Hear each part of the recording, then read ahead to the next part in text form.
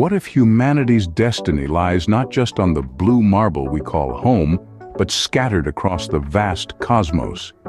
Imagine a future where we are not just Earthlings, but Martians, moon dwellers, and perhaps even interstellar nomads. The key to this future might just be the Starship, SpaceX's most ambitious project to date. The tale of Starship's test flight reads like an epic saga.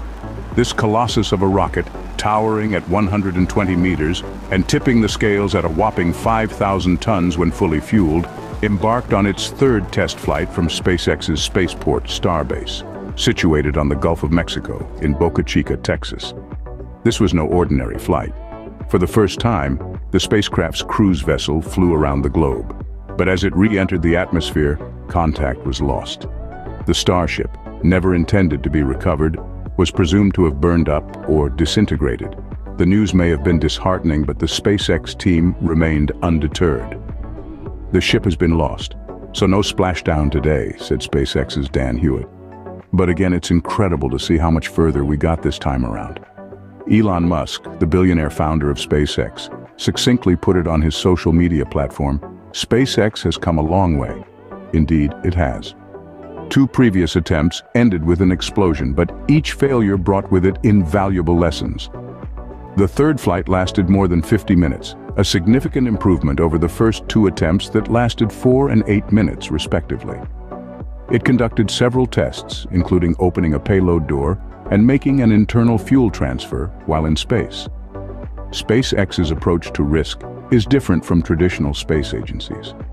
They believe in pushing their spacecraft prototypes to the limit and beyond, maximizing learning from each test flight. Every part of the Starship, both upper and lower segments, are designed to power themselves safely back to Earth for a soft landing so that they can be reused. This approach is not only cost-effective, but it also brings us a step closer to a sustainable future in space exploration. The ultimate goal? To make humans a multiplanetary species, as Musk often puts it. To colonize Mars, to ensure the survival of humanity in case of a catastrophic event on Earth. With this vision in mind, Musk and his team at SpaceX continue their relentless pursuit of innovation and exploration. Despite the loss of the Starship during its third test flight, the mission was far from a failure.